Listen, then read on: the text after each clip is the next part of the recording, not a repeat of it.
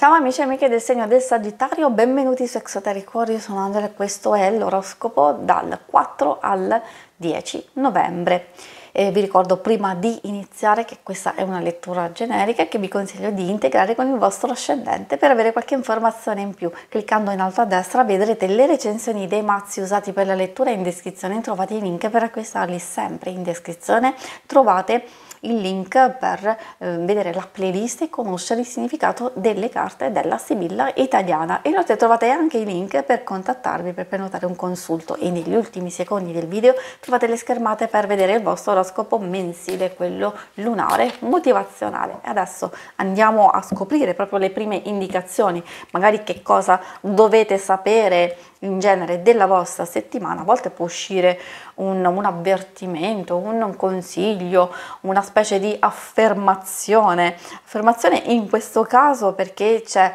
la carta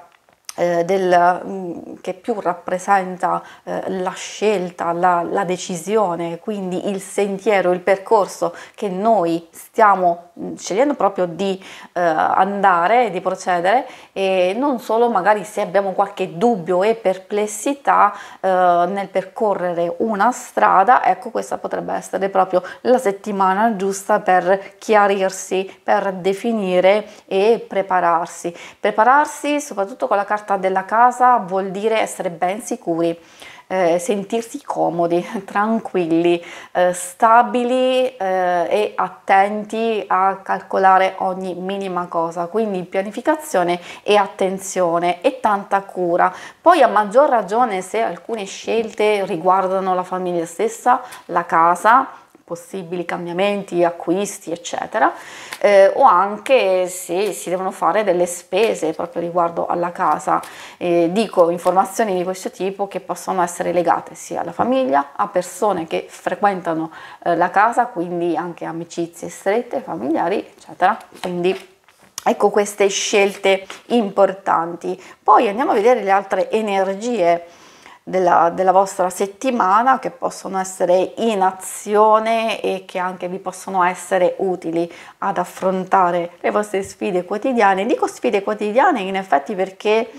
eh, ci sta come termine perché abbiamo questi topolini fastidiosi e anche la montagna che indica purtroppo un, un blocco, un qualcosa che dobbiamo eh, sormontare e superare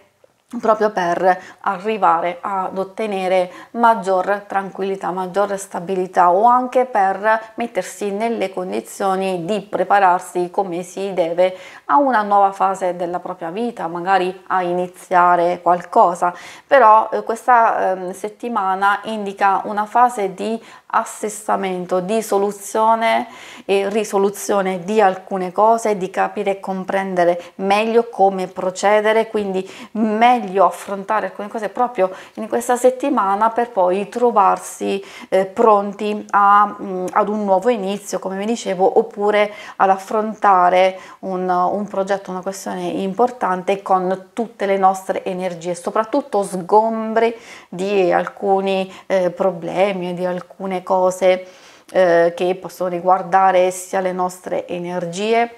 ad alcuni fastidi, alcune incombenze e stress. Quindi ottima settimana per togliersi di mezzo alcune cose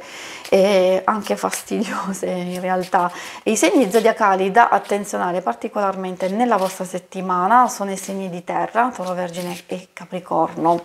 Eh, questi sono proprio dominanti e principali, forse un pochetto anche quelli di fuoco, Ariete, Leone e Sagittario. Adesso andiamo a vedere come queste energie si riflettono nell'ambito eh, amore, coppia singole, poi vedremo il lavoro e le finanze. Troviamo la fanciulla spesso si ha a che fare anche con eh, una persona, eh, però essendo una stesa generale può riguardare proprio la situazione che state vivendo e, mm, e che quindi in, in, qualche modo può essere tutto sommato abbastanza tranquilla o forse in apparenza, eh, si è particolarmente sensibile, abbiamo visto un po', diciamo, un po stressati e quindi mm, mm è, è facile che che ci possano essere delle piccole incomprensioni, ma assolutamente vedete proprio dalle carte che sono positive c'è massima intesa, c'è unione, c'è anche sia la carta dell'amore e dell'amante, carte proprio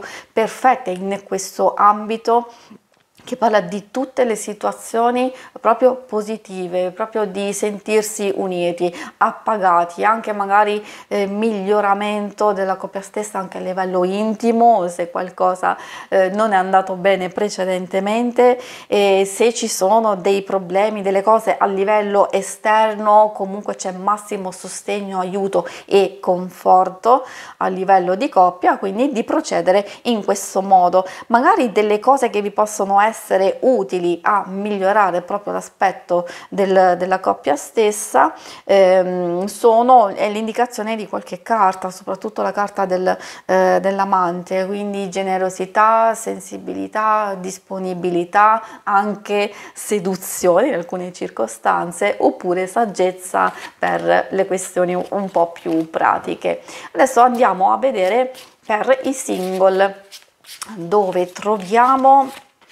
la carta conversazione, ottima carta che eh, può riguardare proprio eh, tutti i tipi di comunicazione. Eh, in questo caso, appunto, adesso vediamo anche le altre carte, la carta nemica e sponsali. Ehm, in questo ca- caso, vi dicevo, ci parla eh, di mh,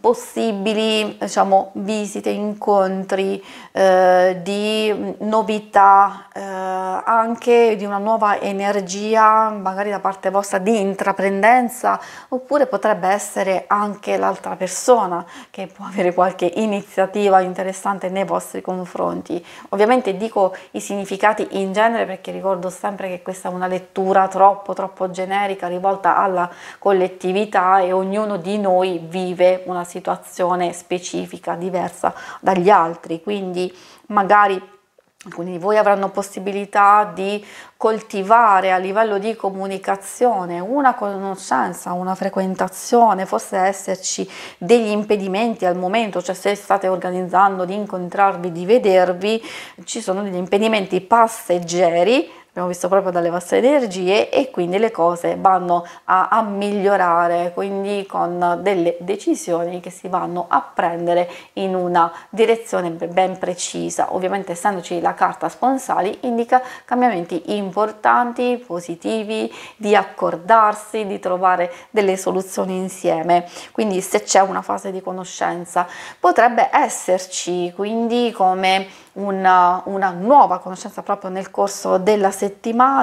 o anche incontrare qualcuno di interessante. Eh, ovviamente è la carta della, della nemica che mette un po' qualche sospetto, forse voi semplicemente volete prendere le cose con calma, eh, non vi create diciamo, illusioni, volete verificare e vedere e fate bene, poi prenderete la vostra decisione se lasciar perdere alcune di queste conoscenze o comunque eh, procedere e andare avanti. Adesso vediamo dal punto di vista ehm, finanziario e lavorativo il messaggio per voi. Troviamo la carta bambino, carta positiva effettivamente, poi c'è gelosia e, e falsità. E che cosa vogliono dirvi? Mm, l'avevo capito un po' dalle vostre energie eh, in genere, che c'è quel, eh, quel desiderio, quella voglia di iniziare qualcosa, di mettersi in moto, forse un nuovo progetto, forse un nuovo investimento, magari di mettere tutte le vostre energie in qualcosa di specifico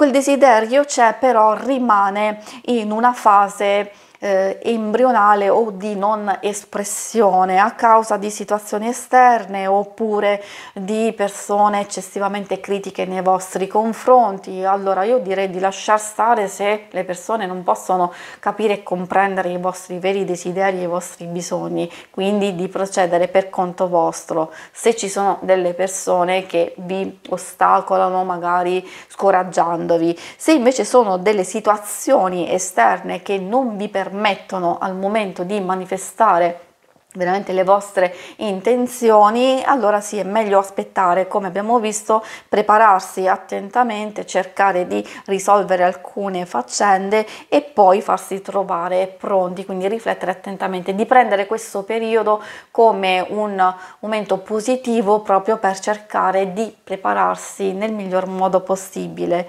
quindi anche nel lavoro stesso e anche chi è in cerca di lavoro, quindi tutta questa nuova spinta la fase di ricerca o delle novità devono essere comunque tutte attenzionate perché alcune magari è meglio scaltarle subito, quelle che possono sembrare in apparenza positive potrebbero avere un retroscena eh, negativo, quindi queste carte consigliano eh, di valutare attentamente possibili proposte e investimenti, capire effettivamente se sono degli ottimi consigli, se sono delle ottime informazioni, se sono delle cose che magari vi sentite di fare adesso o aspettare. Quindi ascoltate il vostro intuito. Si conclude qui la lettura, vi ringrazio per avermi seguita. Se volete qui in alto a destra trovate il logo per iscrivervi al canale, mentre qui in basso trovate le schermate per vedere il vostro oroscopo mensile e quello lunare quindicinale. Alla prossima, vi auguro una buona settimana, ciao!